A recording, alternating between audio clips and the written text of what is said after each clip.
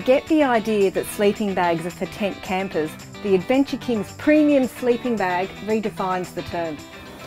These beautiful, ultra soft sleeping bags are absolutely amazing for a number of reasons. First, they're soft and ultra comfy with a soft flannel interior and a soft canvas outer.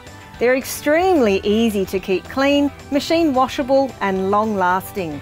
They have a removable inner lining which allows you to tailor the temperature rating to suit where you are. With the inner lining in place, the sleeping bag is rated to minus 5 degrees. With the inner lining removed, the sleeping bag is rated to plus 5 degrees.